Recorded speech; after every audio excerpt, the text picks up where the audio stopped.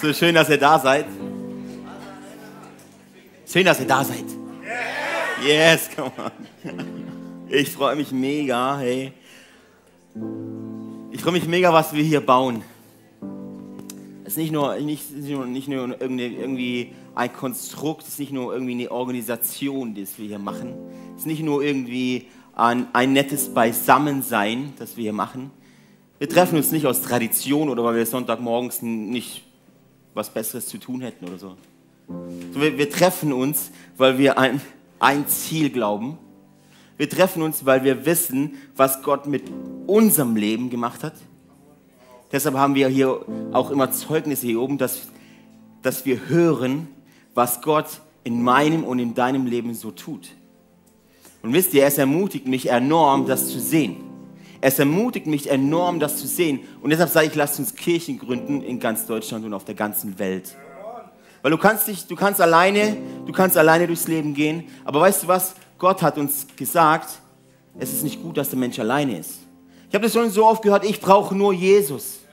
Soll ich dir ein sehr mutiges Statement geben, gleich zu Beginn der Message? Du brauchst nicht nur Jesus. Du brauchst nicht nur Jesus. Jesus ist nicht genug. Jesus ist nicht genug. Als, als Gott den Adam schaffte, Adam, der erste Mensch, you know, erinnerst du dich? Adam? Und Adam hat alles, oder? Adam hat alles. Kein Schmerz, kein Leid, keine Krankheit. Nichts. Er war im Paradies. Und wisst ihr, was dann noch on top kam? Gott war immer bei ihm. Die waren so. Keine Sünde zwischen den beiden. Es waren wie Best Friends. Und genau in diesem Moment, in, diesem, in dieser Situation sagt Gott, Adam, weißt du, es ist nicht gut, dass du alleine bist. Gott, ähm, Adam ist nicht alleine, er hat dich. Und Gott sagt trotzdem, ich will dir einen dir gleich schaffen. Einen Menschen dir gleich. Wenn du heute hier bist und du hast dich vielleicht isoliert die letzten Jahre, so ein krasses Gefühl, dass jemand hier ist, der, der denkt, Kirche, schön und gut, aber Kirche brauche ich eigentlich nicht. Gott ist cool. Jesus schon mal gehört. Aber Kirche, ich kann auch, mein, ich kann auch daheim Bibel lesen. Ich kann auch mein, zu Hause meinen Glauben leben. Ich sag dir, Jesus ist nicht genug. Du schau mal nach rechts und schau mal nach links.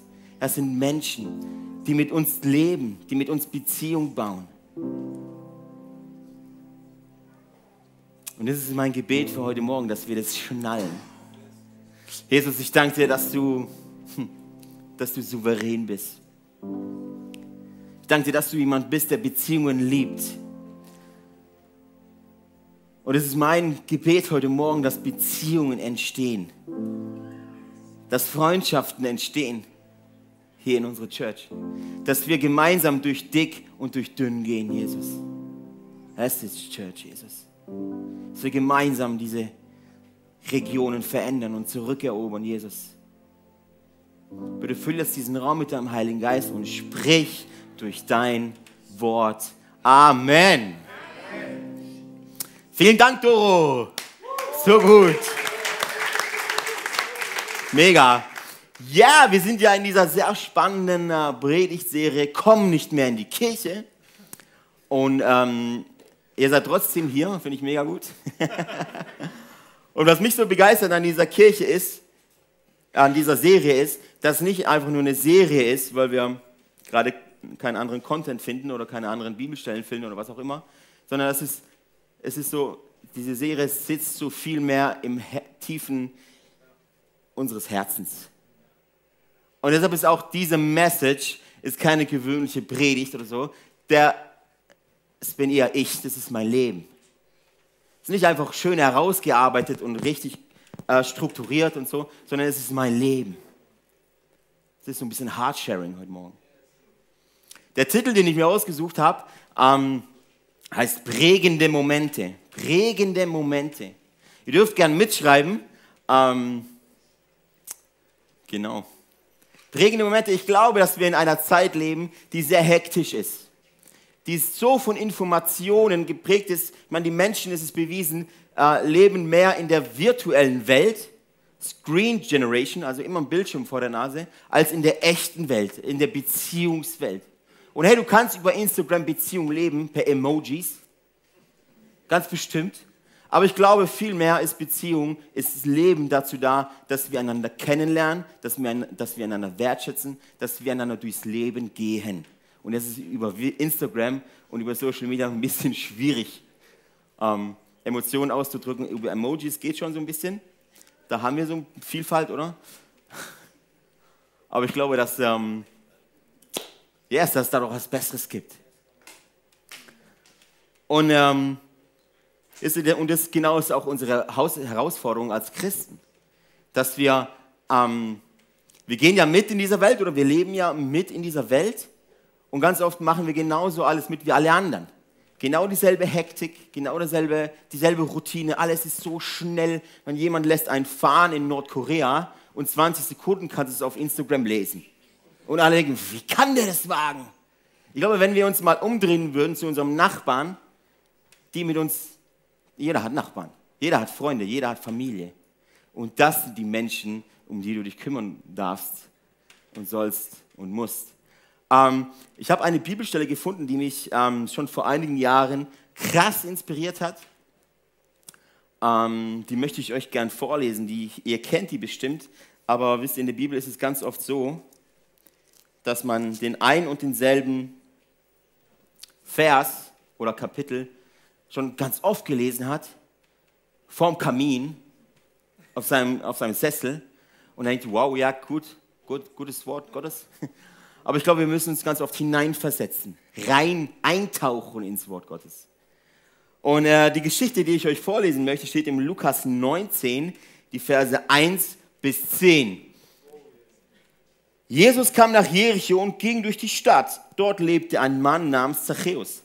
Als einer der mächtigsten Steuereintreiber war er sehr reich.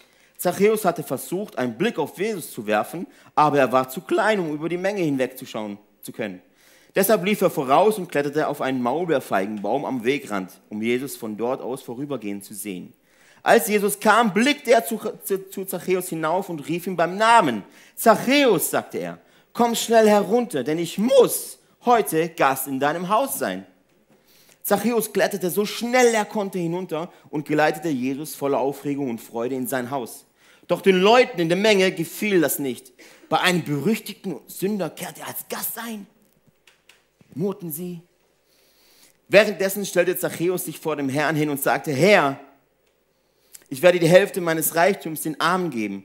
Und wenn ich die Leute bei der Steuer betrogen habe, werde ich es ihnen vierfach erstatten. Jesus erwiderte, heute hat dieses Haus Rettung erfahren. Denn dieser Mann hat sich als Sohn Abrahams erwiesen. Der Menschensohn ist gekommen, um Verlorene zu suchen und zu retten. Wenn du dich jemals gefragt hast, warum Jesus gekommen ist, hier hast du dieses, diesen kleinen Hinweis. diesen kleinen Hinweis. Hey, wir sehen hier eine, eine Situation, wo Beziehung geschieht. Wir sehen hier eine Situation, wo Jesus ähm, mit offenen Augen, sage ich mal, durch diese Stadt läuft. Jesus hatte eine Mission, Jesus hatte, wusste, was, er, was auf ihn zukommt. Aber Jesus ging nicht mit Scheuklappen durch die Stadt, sondern Jesus öffnete seine Perspektive in alle Richtungen. Oft sehen wir auch in der Bibel, dass äh, Jesus, Jesus so durch die Gegend lief und da saßen dann äh, äh, saßen Blinder am Wegrand das heißt, Jesus lief nicht nur auf dem Weg und schaute nach oben zum Zachäus, sondern Jesus schaute auch nach rechts und schaute auch nach links. Und wenn du, die Ehebrecherin an die, wenn du dich an die Ehebrecherin erinnern kannst, die auf dem Boden lag, geht Jesus sogar nach unten. Wir sehen hier eine 360-Grad-Perspektive, die Jesus hat, in alle Richtungen. Und ich frage mich, wie oft wir als Christen mit diesen Scheuklappen durch die Augen sehen, durch die Augen, äh, äh, ähm, durch, die, durch die Welt sehen und wir laufen durch die Städte und alles ist so, alles ist so schnell. Wir haben so viele Termine, oder? Wir haben so viel To-Do. To-Dos. Ich weiß nicht, wer von euch das letzte Mal der, einfach so in der Stadt war. Einfach so. Ohne Sinn. Einfach nur durch die Gegend laufen und einfach nur um die, um, äh, durch die Gegend laufen und äh, die Menschen so anschauen. Ich weiß nicht, ob du das mal gemacht hast. Oder gehst du nur in die Stadt, gehst du nur und schnell Hektik, ich muss schnell in den Müller und ich muss schnell dorthin und ich muss schnell dahin und ich muss, muss überall hin. Doch eigentlich habe ich keine Zeit. Ich muss überall hin und ich bin überall und überall bin ich anwesend. Aber ich frage mich, bist du, bist du wirklich da? Bist du wirklich im Hier und bist du wirklich im Jetzt? Wir sehen hier, dass Jesus sich mit einem Mann namens Zachäus trifft, oder? Und Zachäus ist so der Big G in Jericho. Der, der ist der Mafia-Boss hoch 10. Ist der, der mächtigste der Steuereintreiber. Aber er war Jude. Das bedeutet, dass Zachäus seine eigenen Landsmänner betrogen hat. Es war das Schlimmste, von den Schlimmen war er das Schlimmste. Zachäus. Und er hatte noch, noch ein anderes Problem, er war sehr klein. Also schlimmer geht's nicht. Wenn du auch hier bist und bist klein, wir können nachher beten. Nein, Spaß. wir können einen Maulbeerfeigenbaum aufbauen und dann kannst du da Hey, und wir sehen, dass dieser Zachäus, irgendwas treibt ihn an, oder? Irgendwas treibt ihn an, diesen, diesen Jesus sehen zu wollen. Keine Ahnung. Oft, ich habe schon oft äh, Predigten gehört, wo, wo jemand gesagt hat, und, ähm, Zachäus brauchte Rettung. Man musste den Retter sehen. Aber ich frage mich so, Zachäus, von was? Der hatte doch alles, der war reich, der war mächtig, von was brauchte er Rettung? Ich glaube, dass Zachäus ein sehr, sehr einsamer Mensch war. Er betrug seine eigenen, seine, sein eigenes Volk. Keiner mochte ihn. Weißt du, wenn du mächtig und wenn du reich bist, ähm, ist die Gefahr sehr groß, dass du eigentlich sehr einsam bist. Schau mal in die Promi-Welt, ich glaube, diese ganzen Selbstmorde, die da passieren, das ist ein Mitgrund. Du hast sehr viele Freunde, aber eigentlich hast du gar keine Freunde. Du hast sehr viele Social Media, die dir auf Social Media folgen, aber eigentlich hast du gar keinen einzigen Freund. Jeder liked deine Bilder auf Facebook, aber eigentlich ist keiner an deiner Seite, wenn es dir nicht gut geht. Und so ein Mensch ist Zachäus. So ein Mensch ist Zachäus. Und er klettert, er, er, nimmt diese eine Chance. Er ist ein Baum, gerade auch zufällig oder lauft, er klettert auf diesen Baum und sagt, wenn ich nur eine Chance habe, diesen Jesus, vielleicht, vielleicht kann er mein Freund sein. Viele Menschen folgen dem Jesus, oder? Viele Menschen folgen ihm nach. Vielleicht hat der Jesus für mich ein offenes Ohr. Und Zachäus packt die Chance. Und ist so krass. Ähm, wisst ihr, Zachäus war nicht so, so der Random-Typ, oder? War nicht so der, der Standard-Guy. War, nicht so, war schon, schon sehr äh, außergewöhnlich. Und ich frage mich, wie oft wir solchen Menschen begegnen und uns verschließen weil sie vielleicht nicht in unserem Rahmen passen, weil sie vielleicht nicht in unser Bild passen, weil sie vielleicht, weißt du, Beziehung mit jemand, wo du magst, Beziehung mit jemand, wo dir in deinen Rahmen passt, ist mega einfach. Ist mega einfach, es tut gut, ich krieg was, oder? Und er lacht über meine Witze, wie cool ist das? Und er sitzt und er riecht gut, wow, mm. hat dieselben Hobbys, dieselbe Frau nicht, aber selben Interessen, alles ist gleich und es ist so gut. Am liebsten jeden Tag, komm, wir hocken jeden Tag zusammen, bist mein Best Bro, mein Bro. Mein Bro, lass uns wegen abhängen. Und dann gibt es auch Menschen, bei denen denkst du dir, oh Mann, ey, schau dir mal den an. Den mag ja keiner. Der riecht nicht wie ich, der sieht nicht aus wie ich, der ist in, ganz, in einer ganz anderen Branche wie ich. Der glaubt nicht mal wie ich. Also habe ich mir mit dem am Hut. Da passt ja gar nichts. Aber Jesus geht dahin und, und ruft ihn beim Namen, oder? Ruft ihn beim Namen. Und wisst ihr, was er sagt? Komm runter, komm schnell, komm schnell runter. Er sagt nicht Zachäus, mein lieber, mein lieber Mann, mein lieber Mann Zachäus. Also so wie du die Leute da abzockst. Du, also wenn du dein Leben kurz mal in den Griff kriegst, könnte ich mich dazu entscheiden, dass du runterkommen darfst. Und dann können wir gemeinsam essen. Hey Zachäus, also, hey, guck mal, da hast du echt einen Bock missgebaut, gell? Mein lieber Scholli, mein lieber Freund. Ich gebe dir nur eine Chance. Ich bin hier. Bring dein Leben auf die Kette, auf den Baum. ist nicht das, was Jesus gesagt hat, oder? Jesus ging hin und es war ihm völlig egal, wer er ist. Er sagte, Zachäus, das ist sein Name, komm schnell runter, ich muss heute bei dir essen. Jesus ladet sich selbst ein. Jesus macht den ersten, eigentlich macht Zachäus den ersten Schritt auf den Baum klettern und Jesus, Jesus nimmt ihn da, wo er ist, da, wo er ist. Er nimmt ihn da, wo er ist, in seiner Unperfektheit, oder? In seiner Fehlerhaftigkeit nimmt Jesus Zachäus und sagt, ich will mit dir heute abhängen. Mein erster Punkt ist daher, sei ein Freund. Du willst prägende Momente in deinem Leben haben.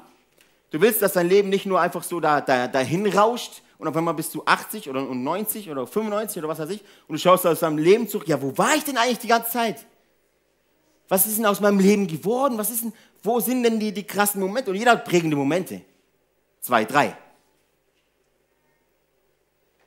Aber ich glaube, dass jeder einzelne Moment, jeder, jede einzelne Situation dazu da ist, Kraft zu haben, etwas mit dir zu tun, etwas mit dem dir gegenüber zu tun. Daher ist mein erster Punkt, sei ein Freund. Du willst prägende Momente in deinem Leben haben, sei ein Freund. Du willst Freunde haben, die dich so krass beschützen. Du willst Freunde haben, die sich, wenn du, wenn du in deiner Fehlerhaftigkeit dastehst, in deiner Nacktheit, du willst Freunde haben, die sich so da vor dir stehen und sagen, hey, ich stelle mich schützend vor ihm. Warum? Ich bin sein Freund. Du willst solche Freunde haben? Dann sei ein Freund. Sei ein Freund. Und es bedeutet, ähm, ähm, mach dein Herz auf. Mach dein Herz auf für die Menschen, die keiner sieht. Die, die oft gesehen werden, die haben genug Freunde. Die, die belebt sind, die haben genug Freunde. Die, die keiner sieht,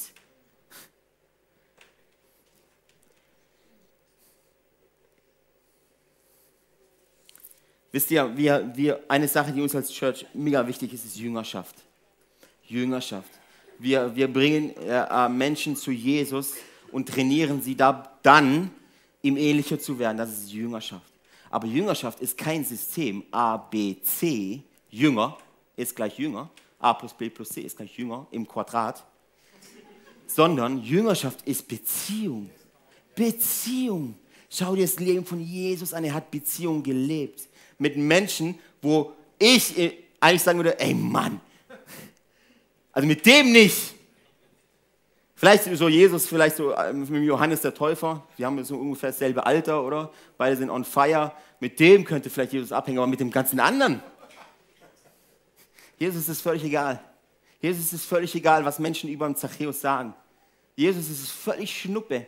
Seine Vergangenheit ist ihm völlig egal. Jesus öffnet sein Herz Weißt du, was mir immer hilft? Frage dich doch mal, wo du ohne Gott wärst. Frage dich doch mal, hättest du keine, christliche, keine christlichen Eltern gehabt? Frage dich doch mal, würdest du nicht in Deutschland leben? Vergiss nie, vergiss nie, wo du herkommst. Vergiss nie, wo du herkommst. Und stell dir einmal vor, wo du wärst ohne Gott. Und dann lauf durch die Stadt und dann siehst du die Menschen, die ohne Gott laufen.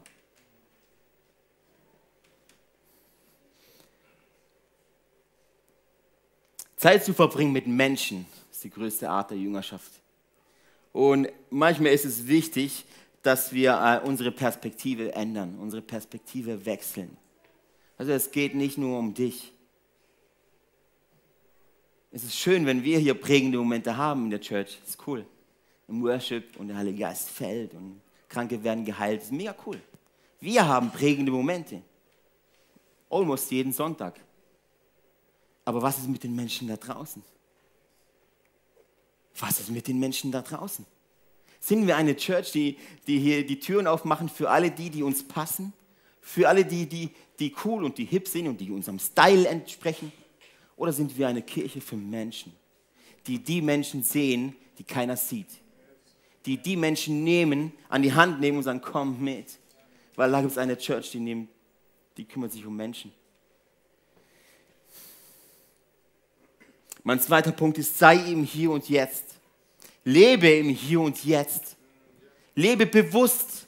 Steh morgen früh auf und weiß, dass es ein neuer Tag ist. Eine neue Chance, eine neue Möglichkeit eine neue Möglichkeit, etwas zu verändern, prägende Momente in deinem Leben zu haben. Sei dir bewusst. Weißt du, ist heute Morgen jemand aufgestanden und hat den äh, Schlummermodus gedrückt? Einmal? Wer hat ihn einmal gedrückt heute Morgen? Wer hat ihn mehr als dreimal gedrückt heute Morgen? Okay. Wir werden nachher für dich beten.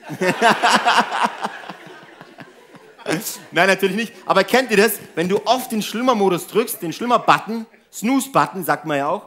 Weißt du, wenn du dann aufstehst und guckst auf die Uhr, jetzt bist du voll in Hektik. Und weißt du was? Das zieht sich deinen ganzen Tag lang. Deinen ganzen Tag lang bist du immer hinten dran. Immer ein bisschen hinten dran. Und du verpasst deine ganzen Termine oder kommst zu spät und abends denkst du, was war das für ein Tag? Ich war da, aber ich war nicht wirklich da.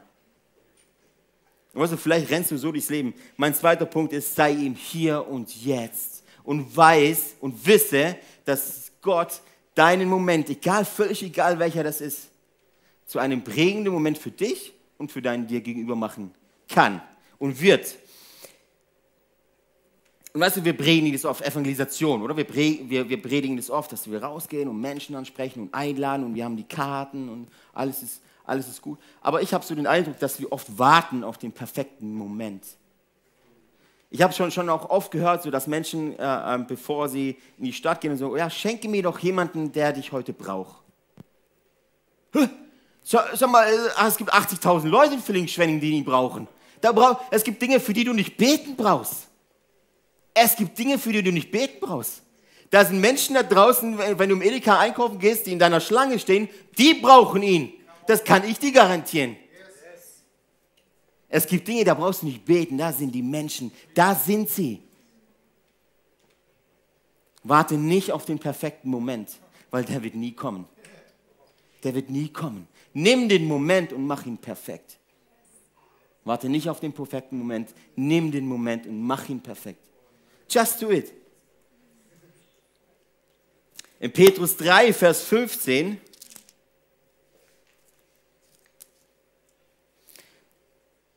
steht, macht Christus zum Herrn eures Lebens. Und wenn man euch nach eurer Hoffnung fragt, dann seid immer bereit, darüber Auskunft zu geben. Der zweite Punkt kannst du auch nennen, immer bereit. Den kannst du auch so nennen. Lebe im Hier und Jetzt, slash, sei immer bereit. Lebe bereit. Ähm, also die meisten Christen, die ich kenne, die leben in dem Warten auf einen Durchbruch. Wenn ich dann soweit bin, dann. Wenn ich mal alles beisammen habe, dann. Aber weißt du, der große Durchbruch, der ist am Kreuz passiert. Seit der Aufstehung, Auferstehung von Jesus, das war der große Durchbruch für dich und mich. Jetzt kannst du, jetzt kannst du frei leben. Jetzt hast du keine Fesseln mehr. Jetzt ist nicht mehr die Sünde da, die dich runterdrückt. Jetzt bist du frei. Das war der große Durchbruch. Und ich sehe aber Menschen, die warten, oh, wann gibt es Erweckung und groß und bäm. Aber was ist, wenn es die kleinen, was ist, wenn es dein Alltag ist? Diese kleinen, unwi dir unwichtigen Dinge. Dieses Einkaufen gehen, wo Menschen sind. Dieses zum Arzt gehen, wo Menschen warten. Ja, auf, wo gibt es ein bisschen eine bessere Möglichkeit als da. Da sitzen die und können nicht abhauen.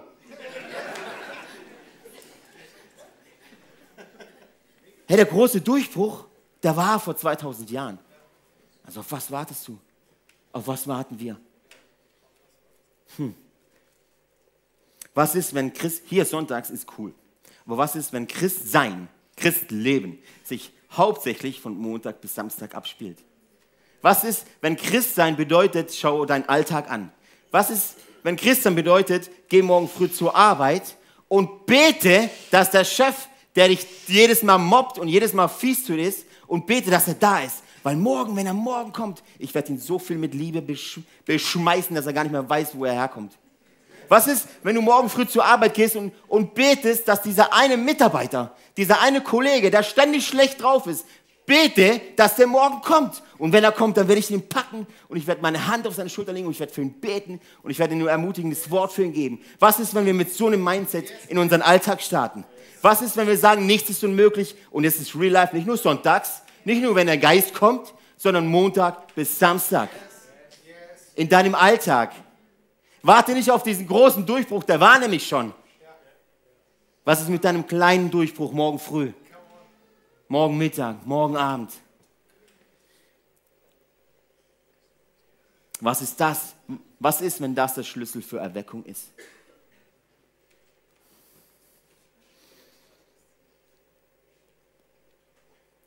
Ich habe euch ein kleines Video mitgebracht. Wir haben ähm, vor kurzem ähm, so kleine Visitenkarten bestellt bei Vistaprint. Ähm, wir haben mords viel Geld gezahlt, dass sie per Expressversand genau zum richtigen Tag ankommen. Jetzt war das Problem, dass die Vistaprint-Karten einen Tag später ankamen und wir sie nicht mehr verwenden konnten. Ähm, und ich habe dann meine Frau gebeten, okay, ruf jetzt bei Vistaprint an und äh, bitte erkläre denen, dass wir die Karten jetzt nicht mehr brauchen und unser Geld zurück wollen. Und das streng bitte. So, und jetzt schaut mal, schaut mal, was aus diesem Telefonat geworden ist.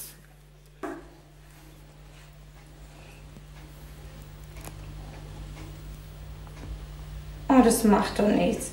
Ey Gott, ähm, du siehst jetzt einfach die Alina, die mit ihren 17 Jahren da irgendwas in ihrem Rückenmark hat, Gott. Und du, Gott, bist ein großer Gott. Und Jesus, du liebst es, Menschen zu heilen. Und ich, ich bitte dich, dass du jetzt über Alina kommst, Gott dass du den Ärzten zeigst, was da los ist, Jesus, dass sie wieder anfängt zu lachen. Okay. Wisst haben wir, haben wir das erwartet? Nein. Waren wir bereit? Ja. wir haben es nicht erwartet. Erwartet habe ich, dass ich mein Geld zurückkriege. Aber wir waren ready, weil das, was in uns schlummert, raus muss. Es muss raus. Du, diese Frau, wir hatten auf diesen Visitenkarten stand Pray drauf. Ein Wort keine Predigt, kein äh, ähm, Link zu irgendeinem Mega-Message. Pray stand da drauf. Ein Wort! Und diese Frau am Telefon, ja, ähm, Pray, was ist denn das? Ja, wir sind eine Kirche und so. Ah, und dann hat sie weitergefragt. Was bedeutet denn Pray? Pray bedeutet beten. Dann hat dann gesagt, weil wir glauben, dass durch Gebet Dinge passieren, dass Gebet kraftvoll ist. Und dann die Frau, ja, wie betet man denn? Die Leute, die Menschen wissen nicht, wie man betet. Beten ist wie atmen. Wenn du sagst, du, kann, du weißt nicht, was beten ist, sagst du eigentlich, du weißt nicht, was atmen ist. Und Annike konnte ihr erzählen, ey, und sie hatte eine Tochter oder eine Schwester, die irgendwie was im Rückenmark hat und nicht mehr laufen kann. Wisst ihr, das, das sind Momente, die Leben verändern. Und wenn wir die verpassen, dann sind sie weg. Das ist nämlich so das, tricky Ding mit den Momenten. Die sind nämlich nur einmal. Jetzt ist ein anderer Moment als gerade eben.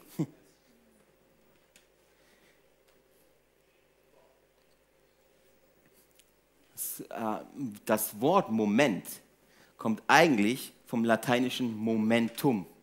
Und Momentum bedeutet ein Moment mit Kraft ein Moment, in dem Kraft steckt. Eine innen, innewohnende Kraft in einer Situation. Momentum. Ich frage mich, ob wir auf der Suche nach Momenten sind oder nach einem Momentum. Im Moment. Das war so eine Situation, die, Mensch, die uns prägt, die uns trainiert, die lebensverändernd sind für die Menschen, die uns, die uns hören. sagst du vielleicht, ey, alles ist mega cool, aber du bist ja auch ein Evangelist. Du bist ja auch ein Prediger. Für dich ist es ja einfach. Wisst ihr, von der Natur aus bin ich eigentlich schüchtern. Von, Natur, von der Natur aus, er hätte mich mal vor zehn Jahren gesehen, da hat, wenn mein größtes Struggle hier zu stehen, ich werde mir wahrscheinlich in die Hosen machen. Du bist so beschenkt von Gott und so up. Hey, danke, ich, ich nehme das gerne an. Aber weißt du was eigentlich, weißt du, woher diese Leidenschaft kommt? Weißt du, woher dieser Einsatz und dieser Willen kommt? Ich habe es einfach satt, Menschen zu sehen, die Gott nicht kennen. Ich habe es satt, Menschen zu sehen, die in einer Ehe leben und eigentlich die, wir können den Himmel auf die Erde erleben. Wir können aber auch die Hölle auf der Erde erleben. Ich habe es satt, Menschen zu sehen, Frau und Mann, die getrennte Wege gehen und da sind Kinder dazwischen. Ich habe es einfach satt, Menschen zu sehen, die keine Hoffnung haben. Ich habe es einfach satt, Menschen zu sehen, die so voller Krankheit, so voller Depression stecken, dass sie sich selbst die Brücke runterstürzen. Daher kommt meine Leidenschaft. Meine Leidenschaft ist nicht irgendwie, dass ich zehn Jahre Theologie studiert habe oder irgendwas oder mir einer gegeben hat. Das ist meine Leidenschaft. Ich sehe Menschen und ich sehe Menschen, die unseren Jesus Christus brauchen und dringend nötig haben.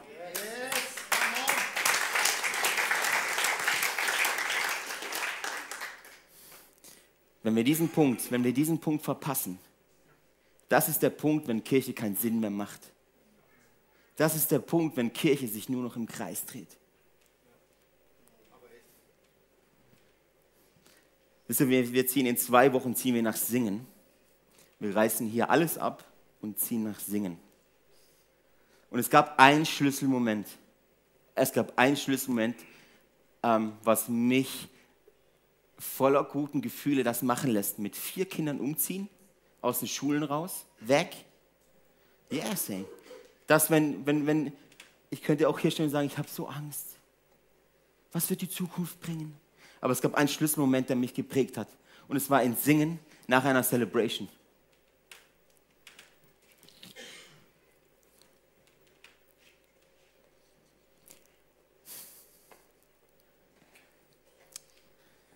Wisst ihr, wir haben unsere prägenden Momente hier in unseren Gottesdiensten. Aber es bringt nichts, wenn die Menschen da draußen vor die Hunde gehen.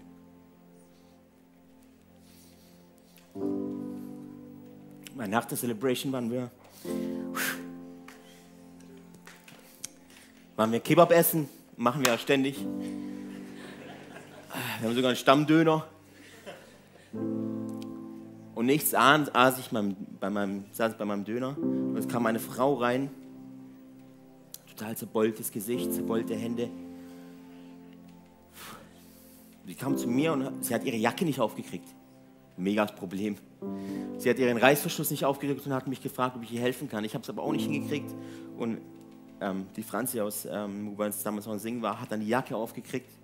Und sie hat mir dann erzählt, dass sie gerade, ihr Mann hat sie gerade dermaßen verprügelt und war, glaube ich, auch äh, ähm, voller Drogen. Sie war ganz, ganz verwirrt. Und die Jacke war dann offen und sie ist auf die Toilette gegangen. Und ich sagte mir, wenn sie rauskommt, werde ich für sie beten. Und dann habe ich mich wieder hingesetzt und habe gewartet und gewartet. Wir haben geredet und irgendwie kam diese junge Frau nicht mehr raus. Ich habe gedacht, kann ja nicht sein. Franzi, geh mal auf die Toilette und schau, ob die noch da ist. Sie ist dann rein und die war nicht mehr da. Wisst ihr, was mein Herz... Wisst ihr, wo sie wieder hin ist? Zu ihrem Mann, der sie verprügelt. Weil ich den Moment verpasst habe. Ich habe den einen Moment verpasst, der für sie prägend gewesen wäre. Wisst ihr, weißt du, wo meine Leidenschaft herkommt?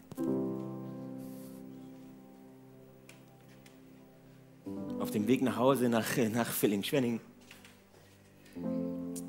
habe ich mir gesagt, Gott, ich will keinen einzigen Moment mehr verpassen.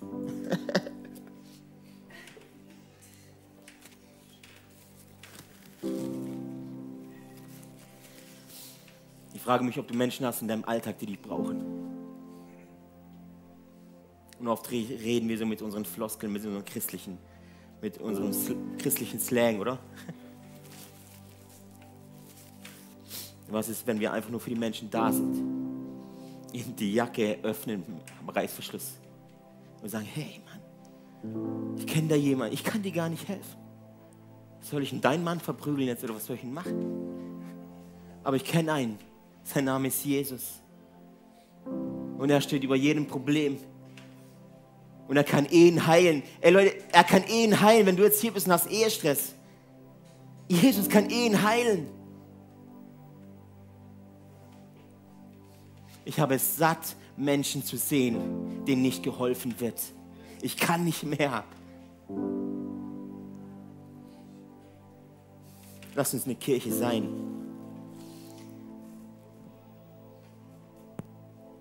Die nach oben schaut, nach unten nach links und nach rechts. Ich habe noch einen dritten Punkt. Sei ein Vorbild. Wisst ihr, ich habe vier Kinder und wir teachen die in allen guten Sachen. Wir bringen denen alles bei. Aber weißt du, was Kinder wirklich machen? Das, was du tust. Nicht das, was du sagst. Ja?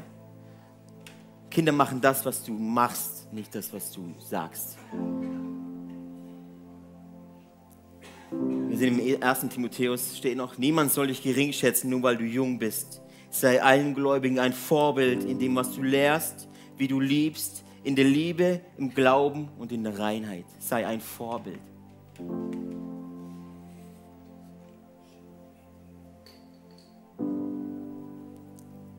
noch eine andere Story. Wir hatten vor ein paar Wochen, hatte Simon Kids gemacht und mein Leonardo war bei ihm in der Gruppe.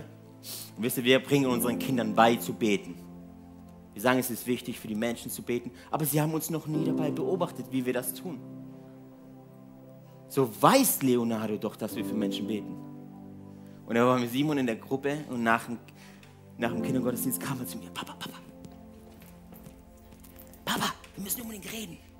Ich so, ja, okay, mach. Nicht hier! Dann sind wir in eine Ecke gegangen und ich so, was ist los? Ich habe heute für jemanden gebetet. Ich habe heute für jemanden gebetet. Kinder, ich so, ja, äh, davon rede ich doch die ganze Zeit. Ich habe heute für jemanden gebetet, Papa. Ich so, und ist, ist, ist, sie, sie oder ich glaube, es war eine sie, ist sie, ist sie gesund geworden? Ja, Papa, das weiß man doch jetzt noch nicht. Sei ein Vorbild. Sei ein Vorbild. Rede nicht viel, mach. Rede nicht viel, mach. Und ich komme jetzt auch zum Ende. ähm, yes, hey. hey, die Band kann mal nach vorne kommen.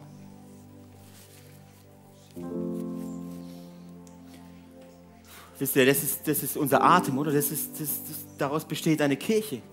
Das ist die Leidenschaft, die eine Kirche haben muss. Wenn, wenn wir als Kirche, die, wenn uns als Kirche die Belange der Menschen völlig egal sind, dann wird eine Kirche egoistisch. Dann dreht sie sich nur noch um sich selbst, um die gute Technik, um irgendwas Hammermäßiges, was andere Kirchen halt nicht haben. Wow,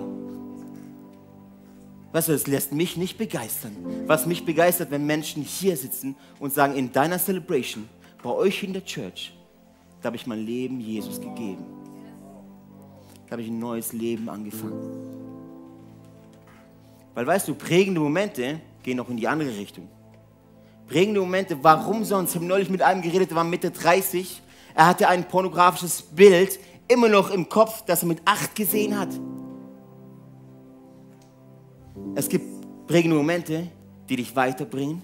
Es gibt prägende Momente, die dich runterziehen, die du nicht los wirst.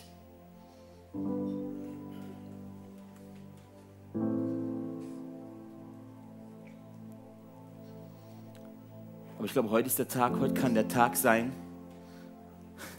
wo du diese Momente einfach dahin gibst, wo sie hingehören, nämlich in den Mülleimer. Wo du einfach sagen kannst, okay, diese Momente haben mich zu der, dieser Person gemacht, die ich jetzt bin. Aber ich entscheide mich jetzt, mich von diesen Momenten nicht länger unterkriegen zu lassen. Du hast Leid empfunden, du hast Schmerz empfunden, dir wurde etwas zugestoßen, dir ist irgendwas passiert, wo du, wo du jetzt äh, äh, Schmerz hast, wo du Leid hast. Dann darfst du entscheiden, möchtest du, dass, dass dieses Leid dein Gefängnis wird oder deine Treppe in ein Next Level.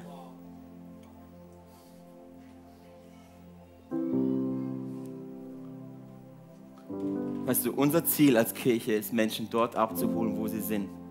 Zachäus, komm schnell runter. Um sie dorthin zu bringen, wo sie noch nie waren, nämlich in Freiheit.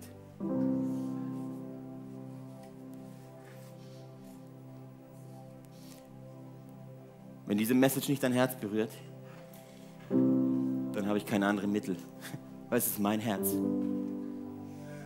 Ich liebe euch alle, wir sind Christen, wir leben in Beziehung. Aber wenn, wir, wenn das alles ist mit uns, wenn, wenn wir diese Liebe nicht nach draußen bringen, dann leben wir ein 50% Christsein. Hm.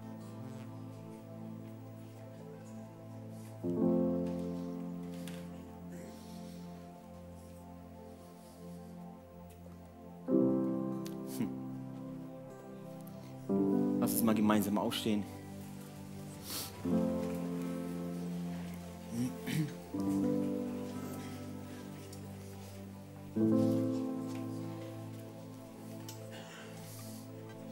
Ich frage mich, ob jemand hier ist, der sagt, hey, mega. Ich habe nämlich auch in meinem Leben Momente erlebt, negative Momente, die mich belasten, die mich bedrücken. Und diesen Jesus, von dem du erzählst, ich habe schon mal von ihm gehört. Deshalb haben wir Feiertage. Aber ich habe ihn nicht in meinem Herz. Eigentlich kenne ich ihn nicht. Vielleicht bist du hier und sagst, du bist die letzten Jahre weggelaufen von Gott. Du hast dein Rufen gehört, aber du bist immer wieder weggelaufen. Vielleicht bist du sogar christlich erzogen und weißt, was in der Kirche so vor sich geht. Du weißt, was da getan wird. Worship ist für dich kein fremder Begriff und beten auch nicht. Aber du hast dich entschieden, wegzulaufen. Vielleicht bist du auch hier und sagst, du hast keine Ahnung von den 30 Minuten, die ich jetzt gerade gesprochen habe. Aber es berührt einfach mein Herz. Sag ich dir, es berührt dein Herz, weil Gott an dein Herz klopft. Gott klopft an dein Herz. Und du wirst jetzt gleich die Möglichkeit haben, weil wir keine Kirchen, ich habe das vorhin schon gesagt, wir spielen keine Spielchen. Wir wollen Veränderungen in dieser Region. Positive Veränderungen. Du kommst nicht in die Kirche und wirst ein bisschen besser. Du kommst nicht in die Kirche und machst ein bisschen Religion und wirst ein bisschen besser. Du nimmst nicht Jesus in dein Leben auf und auf einmal wirst du halt ein, bisschen besserer Mensch. Die Bibel sagt, du wirst ein neuer Mensch. Du wirst ein neuer Mensch. Weißt du, wir haben dazu vier Symbole, die das ganz gut verdeutlichen. Das erste ist das Herz. Weißt du, Gott liebt dich. Gott liebt dich. Das klingt so flach, aber es ist so deep, dass Gott dich liebt, ist die größte Offenbarung, die du jemals hören wirst in deinem Leben. Gott liebt dich. Das zweite Symbol ist die, die Trennung. Durch die Sünde sind wir getrennt von Gott. wie so ein dicker, fetter Klotz, der uns trennt von Gott. Das ist deine und meine Sünde. Das dritte Symbol ist das Kreuz, an dem Jesus sich hingegeben hat, das perfekte Opfer gegeben hat und hat gesagt, okay, ich zahle euch, ich zahle eure Rechnung, ich zahle für eure Schuld, ich zahle für eure Sünden. Und dieser Klotz war auf einmal weg, ist auf einmal weg, das Grab ist leer. Jesus hat den Tod besiegt und deshalb ist auch das vierte Symbol, deshalb haben wir Hoffnung. Deshalb haben wir Hoffnung. Und diese Botschaft müssen die Leute da draußen hören. Und wenn du heute hier bist, hey, und das, alles mit dieser Message, alles, was du gerade gesagt hast, diesen Jesus möchte ich in meinem Herzen auf, aufnehmen, dann darfst du mir einfach kurz per Handzeichen. Also das Handzeichen rettet dich nicht. Das ist nur deine Hand, die in die Höhe geht. Aber deine Entscheidung, dein Gebet, Jesus in dein Herz aufzunehmen, das ist entscheidend.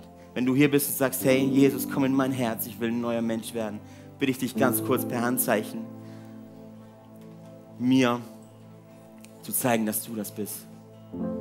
Vielleicht bist du, bist du entfernt von Gott, vielleicht hast du dich, vielleicht bist du wirklich wie weggelaufen von Gott und willst ganz neu dich zu ihm hindrehen. Dann darfst du auch, dann darfst, ey, das bist du. Zeig mir ganz kurz per Handzeichen. Lass kurz noch eure Hände hoch, dass ich, dass ich weiß, für wen ich beten kann. Yes. So gut. Wir werden es jetzt so machen, dass ich laut von vorne, von vorne bete. Und wir als Church, weil wir sind Familie. Wir sind Familie, deshalb bitte ich euch einfach laut mitzubeten. Yes? Ihr wiederholt einfach mein Gebet. Mega einfach. Jesus, danke, dass du gut bist. Danke, dass du für meine Sünden am Kreuz gestorben bist. Danke, dass du mich liebst. Bitte vergib mir meine Schuld. Vergib mir meine Sünden. Heute kehre ich mich zu dir um, Jesus. Komm in mein Herz, erfülle mich und mach mich ganz neu. Schenke mir deinen Heiligen Geist, der mich befähigt, das zu tun, was du getan hast. Amen. Come on.